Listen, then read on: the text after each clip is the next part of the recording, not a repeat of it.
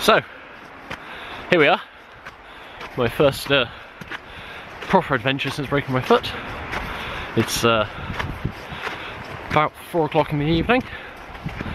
The sun has gone behind the hill behind us, and uh, we're now just starting to uh, climb up this Pen y Fan. So, uh, it'll be dark by the time we reach the summit. Then we're going to camp out on top and uh, see what happens from there. And climb the north face of Pen y Fan in the morning. Say hello, everybody. Hello, everybody. I'd say the uh, thing that gets me the most about this is how strikingly beautiful it is. It's, it's insane. Just look at that. So we're now the last three people on the hill, it seems. There's uh, only a couple of other couple of horses up there doing the other sides of life. It's about quarter to five. Oh, there's others on the mountain, we're not alone. Crampon Oh, time. really-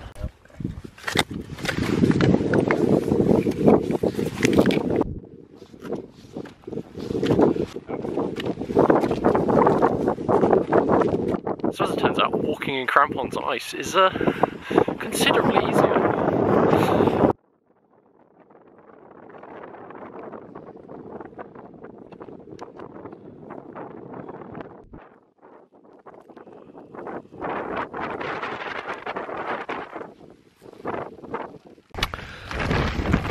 So um,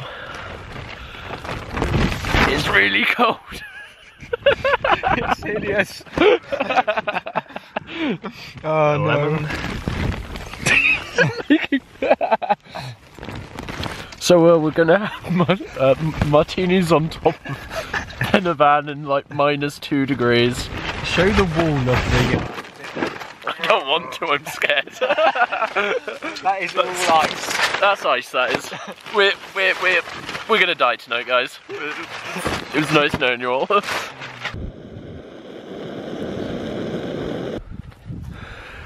We successfully made it to sunrise.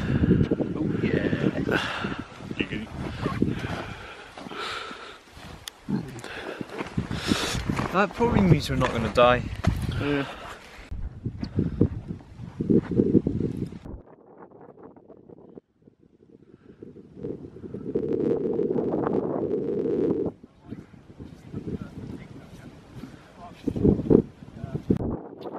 So we finally made it to the summit of Pen y Fan. We did. Only 17 hours after we left.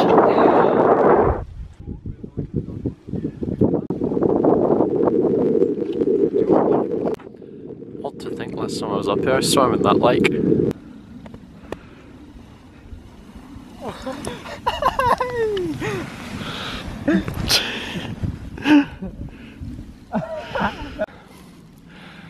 There's the summit of Pen y Fan. About 30 to 40 metres apparently away from us. And uh, these are the conditions we're dealing with. Needless to say, it's pretty grim. So it's quarter past three, I think. Yeah, about that. And uh, Making Road- our descent, final descent. making the final descent off Pen y Fan. Clouds come in and we can't see jack all. And we've lost Reese. Oh no, there he is. Oh, out of the clouds. Excellent. Oh, we're not on. The, we're on the right trail there. Now we have a date with the burger van. Despite being able to see nothing, we managed to find the snow hovel again. I can't believe it. I can't believe we slept here. I, for one, have no desire to see this place again. This place is hideous. At times it seemed rather unlikely, but we've uh, we've finally made it down to Storey Arms, and now we're just walking to the bus stop. We've got about half an hour wait before the bus will take us home to Ponty, where there's warmth and beer. Did survive. We made it to the bus. Yay! At the end of last year, we started going on a number of different little adventures to uh, Snowdonia, Pembrokeshire, the Lake District, or even uh, Fontainebleau in Paris. But then, towards the end of summer, I uh, I went and broke my foot, as I uh, as I showed you all, and now it's all healed up. We're going on our first adventure. So this time we're going up to Pen y Fan. It's uh, usually quite a simple walk. I've done it many times, but because it's winter and about minus two degrees up there at the moment, and due to get colder at the end of the week, we uh, we think it should be quite exciting and a, a, little bit different. But because of such, we're going to go through all the uh, stuff I have to take with me to make sure it all goes well.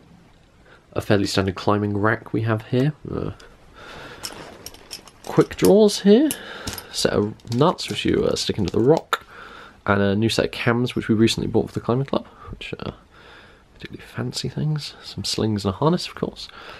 However, due to the fact that it's minus two degrees and there's ice and snow, we also have to take all of this stuff as well. Crampons, mountaineering boots, my favourite toys, ice axes, as well as some ice screws and a couple of other little bits, some uh, some kind of bulldog here and some pitons to stick into the rock. We will of course be taking uh, a selection of ropes as well and the plan is to camp overnight on top of Pen y Fan so it's going to be about minus five so for that we need a whole load of other kit.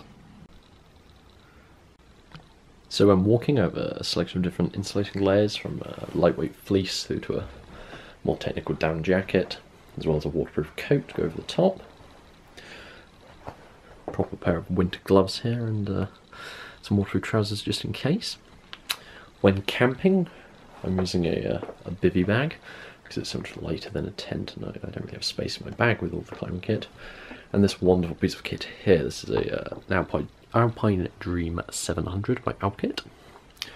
Not going to bore you with all the technical specifications, but basically it should keep me warm up to minus 10. And we're expecting minus 5, so this should be more than adequate. Food-wise, we're going full expedition style and using boil in the bag expedition packs. So we've got 10 of these each, but we'll uh, only be taking one or two. As well as, of course, some other snacks. But uh, I should probably go find my stove.